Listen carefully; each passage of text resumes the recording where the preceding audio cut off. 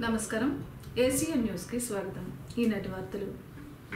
Amul milk project కోసం మొదటి దశలో జిల్లాలో ఏడు మండలాల్లోని నూట ముప్పై ఎనిమిది గ్రామాల నుండి ప్రతిరోజు డెబ్బై వేల తొమ్మిది వందల తొంభై ఎనిమిది లీటర్ల పాల సేకరణకు చర్యలు తీసుకుంటున్నట్లు జిల్లా కలెక్టర్ రేవు ముత్యాలరాజు వెల్లడించారు.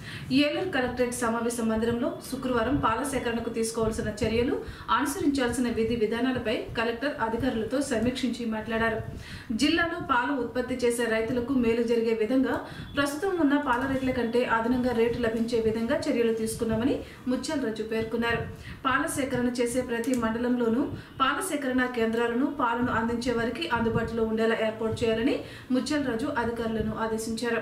ఈ సమావేశంలో joint collector Himanshu Shukla Narsapuram sub collector KS Viswanathan Eluru RDO Prabha Vanapaka Rachana DA PDJ ఉదయం భాస్కర్ పశు సంవర్ధక శాఖ ఇతర శాఖల అధికారులు పాల్గొన్నారు. అనంతరం పేదలందరికీ ఇళ్ళ పట్టాల పంపిణీ చేసేందుకు అడ్డంకిగా ఉన్న కోర్టు కేసులను తక్షణమే పరిష్కరించే విధంగా చర్యలు చేపట్టాలని జిల్లా కలెక్టర్ రేవు ముత్యాలరాజు అధికారులను ఆదేశించారు. గృహ నిర్మాణ శాఖ అధికారులతో కలెక్టర్ సమీక్షా సమావేశం నిర్వహించారు. ఈ సమావేశంలో గృహ నిర్మాణ శాఖ ప్రాజెక్ట్ డైరెక్టర్ ఎన్ రామచంద్రారెడ్డి తదితరులు పాల్గొన్నారు నా పాత ప్లాట్ ఏమంటే అంటే స్టే వస్తుంది మొత్తం లేఅవుట్ అన్ని ఆగిపోతాయి status quo shall be maintain అంటాడు స్టేటస్ కో అనగానే మీ కన్స్ట్రక్షన్ యాక్టివిటీ కూడా ఆగిపోతుంది స్టేటస్ కో అంటే ఎలా ఉందో అలాగే యాజ్ ఆ రోజు ఏం ఉందో అదే ఉందని మళ్ళీ రేపు పొద్దున్న మనకి గ్రౌండింగ్ దగ్గర ప్రాబ్లం వచ్చేస్తుంది రాష్ట్ర ఉప ముఖ్యమంత్రి వైద్య ఆరోగ్య శాఖ మంత్రి ఆళ్ళ నాని శుక్రవారం వైద్య ఆరోగ్య శాఖ అధికారులతో కరోనా వ్యాక్సిన్ డాక్టర్ పోస్టుల భర్తీ పారామెడికల్ సిబ్బంది నియామకం తదితర అంశాలపై సమీక్షించారు. ఈ సందర్భంగా మంత్రి నాని మాట్లాడుతూ కరోనా వ్యాక్సినేషన్ కార్యక్రమం వేగంగా జరగడానికి అన్ని చర్యలు తీసుకుంటున్నామని చెప్పారు.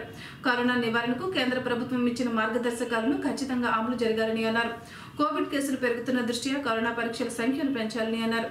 కార్యక్రమంలో రాష్ట్ర వైద్య ఆరోగ్య శాఖ principal secretary Anil Kumar Singh Katamneni Bhaskar doctor Mallikarjuna Ravichandra Geetha Prasad doctor Raghavendra పాల్గొన్నారు.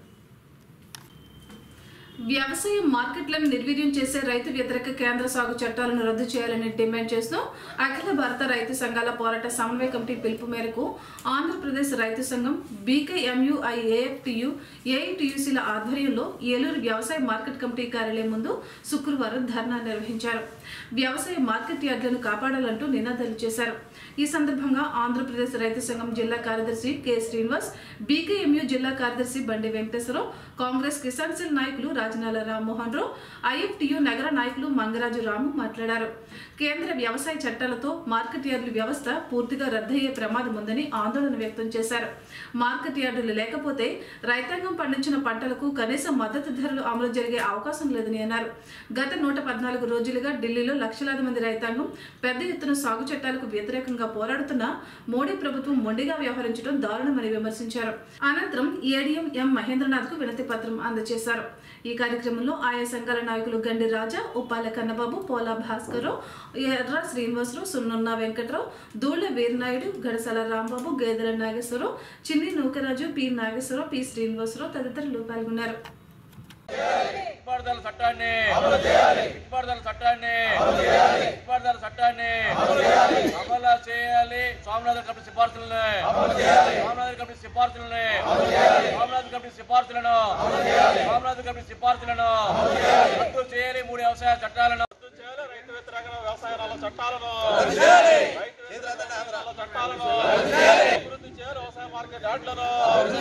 రైతు సంఘం పశ్చిమ గోదావరి జిల్లా కార్యదర్శి ఈరోజు ఐదు వందల రైతు సంఘాల పోరాట సమన్వయ కమిటీ పిలుపు మేరకు ఏలూరు వ్యవసాయ మార్కెట్ యార్డ్ ముందు ఇవాళ ధర్నా చేయడం జరుగుతూ ఉన్నది.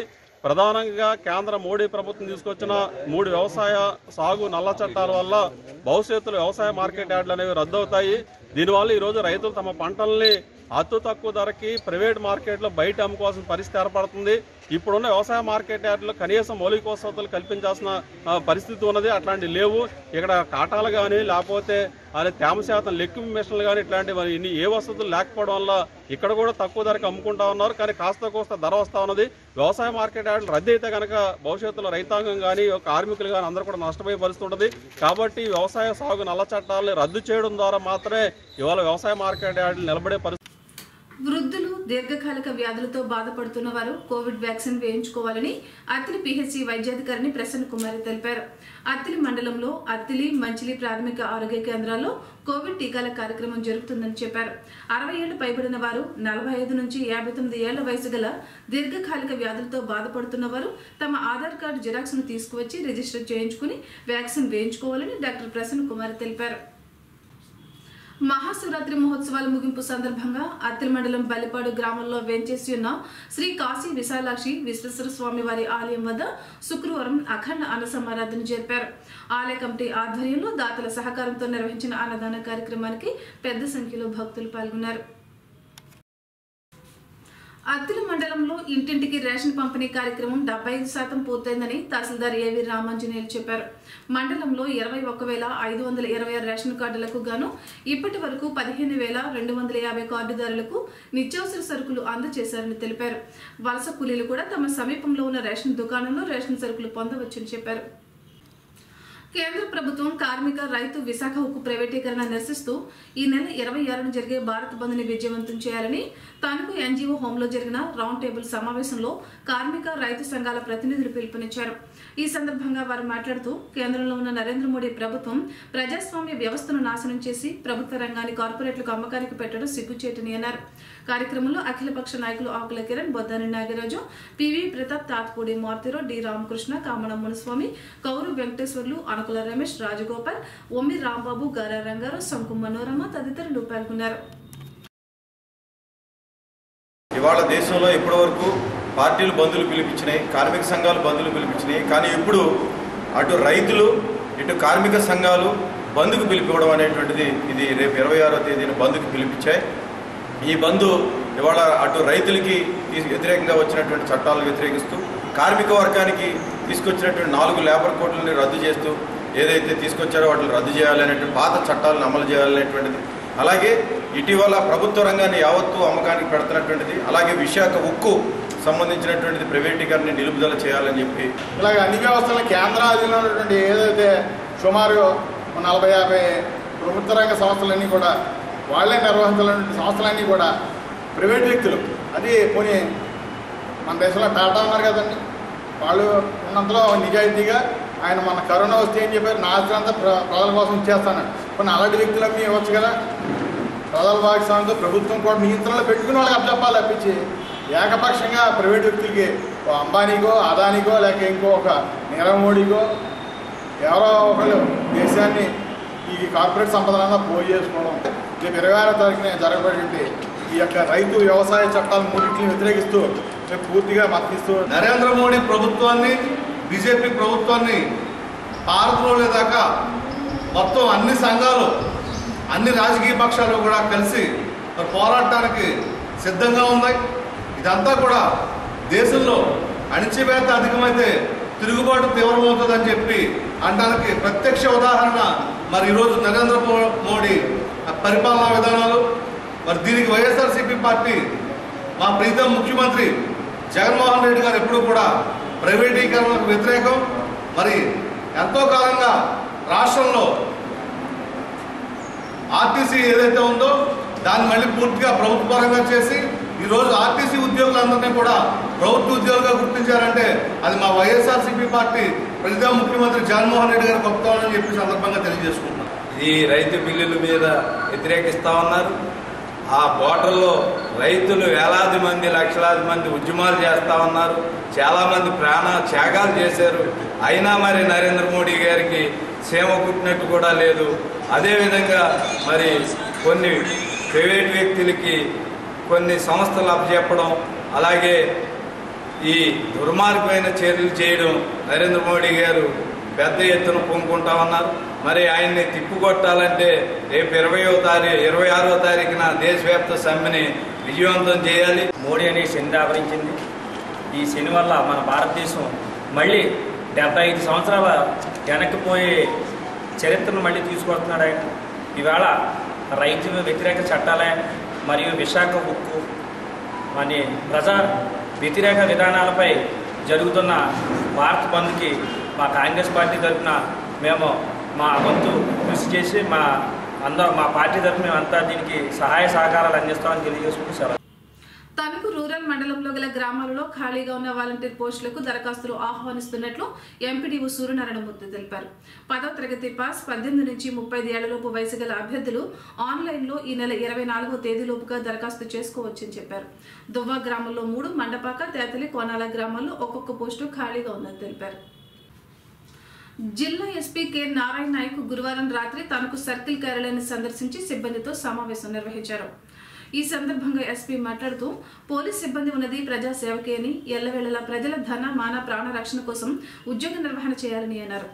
జిల్లాలో ఇటీవల జరిగిన పంచాయతీ మున్సిపాలిటీ ఎన్నికలను ప్రశాంత వాతావరణంలో నిర్వహించడం ప్రతి ఒక్కరి కృషి అని పేర్కొన్నారు. ఈ సందర్భంగా పోలీస్ అధికారులు సిబ్బంది హోంగార్డులను మహిళా సంరక్షణ కార్యదర్శులను ఎస్పీ నారాయణ నాయక్ అభినందించారు.